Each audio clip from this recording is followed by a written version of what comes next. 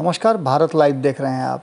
जैसा कि आप सभी जान रहे हैं कि लगातार बिहार में केंद्रीय मंत्रिमंडल के विस्तार की चर्चाएँ तेज हो रही हैं। इन चर्चाओं को लेकर के कई कयास लगाए जा रहे हैं। कहा यह जा रहा है कि आर सी पी सिंह का दिल्ली जाना इसी से जुड़ा हुआ है। वहीं पशुपति कुमार पारस का भी अचानक से दिल्ली जाना इसी से जोड़ कर देखा जा रहा है। लेकिन आपको बता दें कि इसके पीछे जो हमारे सूत्र बता रहे हैं, वो कारण बहुत ही दूसरा है।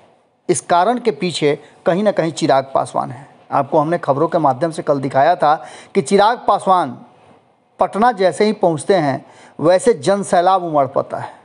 हालाँकि कई कार्यक्रम हो रहे थे, लेकिन सारे कार्यक्रमों को पीछे छोड़ते हुए चिराग पासवान ने ये साबित कर दिया कि रामविलास पासवान के जनाधार को सेंध लगाना किसी के वश में नहीं है।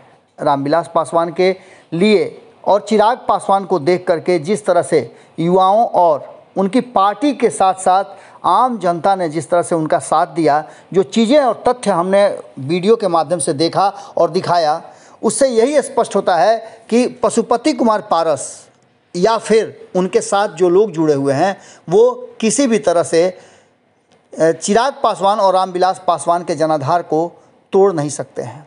ये बातें कहीं ना कहीं भारतीय जनता पार्टी के लिए बड़ा ही मुश्किल भरा है, क्योंकि भारतीय जनता पार्टी के लिए उत्तर प्रदेश के चुनाव में, और ख़ास करके कहा जाए तो उस चुनाव के साथ साथ प्रधानमंत्री नरेंद्र मोदी की साख भी जुड़ी हुई है एक तरफ़, जहाँ प्रधानमंत्री उसी उत्तर प्रदेश से लोकसभा का चुनाव जीतकर देश के प्रधानमंत्री बने हैं। वहीं एक बात और आपके सामने बड़ी तेज़ी से उभर कर सामने आ रही है कि उत्तर प्रदेश, भारतीय जनता पार्टी के लिए प्रतिष्ठा का प्रश्न बन गया है, क्योंकि बंगाल की हार को कहीं ना कहीं उत्तर प्रदेश में भजाना चाहती है भारतीय जनता पार्टी, और इसके लिए चिराग पासवान का उसके साथ होना बहुत ज़रूरी है।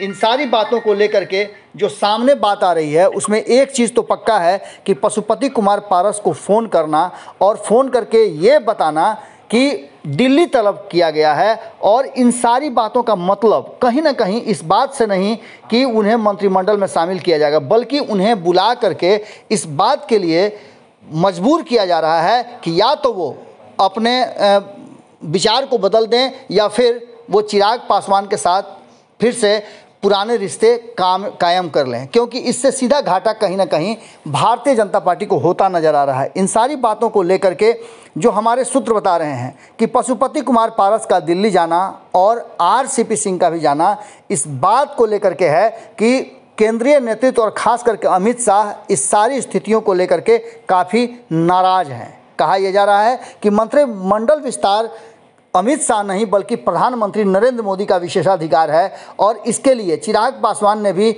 बातों बातों में, इशारों में ये बात ज़रूर कह दिया था कि ऐसी कई खबरें आई हैं। बहुत सारे लोगों को मंत्रिमंडल में शामिल होने की बात की जा रही है। मैं हर किसी पर जवाब नहीं दूँगा। जब यह बात फाइनल हो जाएगी, तभी मेरा जवाब आएगा।